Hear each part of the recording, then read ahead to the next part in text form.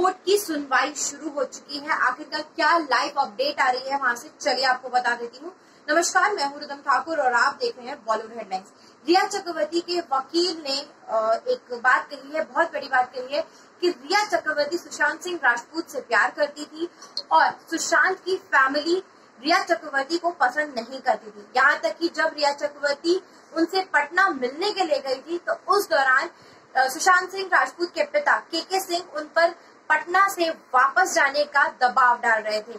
ऐसे में जब सुशांत सिंह राजपूत को रिया चक्रवर्ती ने खो दिया तो वो एक ट्रॉमा में थी और जिसकी वजह से जो थी वो बात नहीं कर पा रही थी और उन्हें कुछ वक्त चाहिए।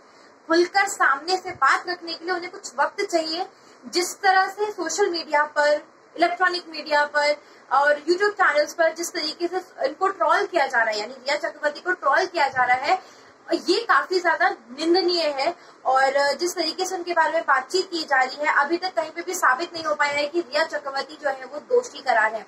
पर मैं आपको बता दूँ, जिस तरीके से मुंबई पुलिस काम कर रही थी, इस बात पर भरोसा ना रखते हुए के के सिंह ने एक एफआईआर दर्ज कराई थी बिहार पुलिस को और वही केस को ट्रांसफ़र करने के लिए ये याचिका दायर की है जिसमें ऋषिकेश रॉय जस्टिस ऋषिकेश रॉय इस बात की सुनवाई मतलब इस, इस केस के पूरे जज हैं और वो उनको सुन रहे हैं। वेल पहले ये याचिका जो है वो खारिज कर दी गई थी लेकिन अब जो है जस्टिस रॉय उन्हें सुनना चाहते हैं और वो सुन रहे हैं। ऐसे में जो भी लाइव अपडेट आती रहेंगी मैं आप लोग के साथ में ज़रूर शेयर करती रहूँगी। आप लोग की जो भी राय है आप कॉमेंट सेक्शन में शेयर कर सकते हैं। अभी के लिए इतना ही बने रही चैनल के साथ।